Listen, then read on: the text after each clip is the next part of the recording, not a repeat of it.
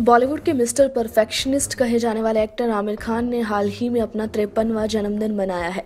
वैसे इन दिनों वो अपनी upcoming film, thugs of Hindustan को लेकर भी खूब सुर्खियाँ बटोर रहे हैं। जानकारी के लिए बता दें कि इस फ़िल्म में वो बॉलीवुड के महानायक अमिताभ बच्चन के साथ नज़र आएँगे। गौरतलब है कि हाल ही में शूटिंग सेट पर अमिताभ बच्चन की तबीयत खराब हो गई थी। हालाँकि अब वो फिर से सेहत में सुधार होने के बाद शूटिंग के लिए लौट आए हैं।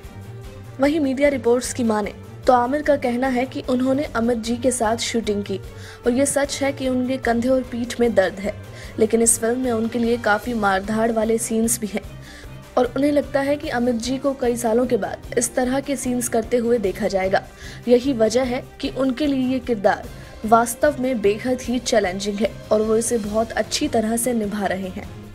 साथ ही साथ आमिर खान ने यह भी बताया कि उनके कंधों और पीठ में चोट लग गई थी और एक दिन पहले उनका दर्द बढ़ गया था, लेकिन अब वो पहले से बेहतर है।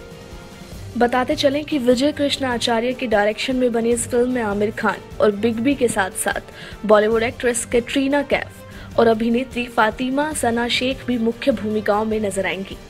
देश और दुनिया की ताज़ा तरीन खबरों के लिए हमारे चैनल को सब्सक्राइब करना बिल्कुल भी ना भूलें।